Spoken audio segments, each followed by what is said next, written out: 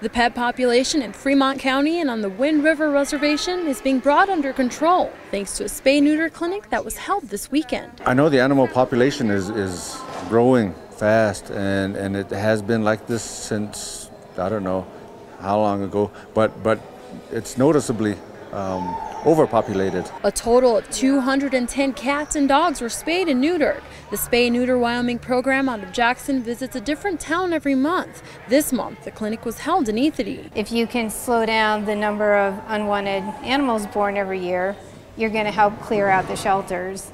And we're actually seeing that factually by, by tracking numbers. This clinic calls for long days and lots of help. We have five doctors, we have seven technicians, we have five assistants to the technicians, and then as many volunteers as we can get. The Spay Neuter Wyoming program usually offers the surgeries at discounted rates ranging from $15 to $45, but for this specific clinic, it was free to enrolled members. Through the foothills from Fort Washakie to, um, to Arapahoe, at nights and evening times, you can hear dogs howling around outside, you know, out on those foothills. So, you know, those are wild dogs.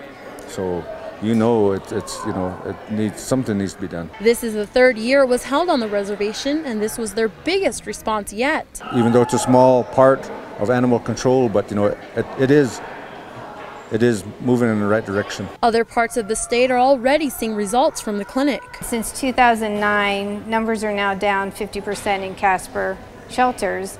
So that's 50% less animals being euthanized. After the surgeries, volunteers sit with the pets to make sure they have a friendly face to wake up to.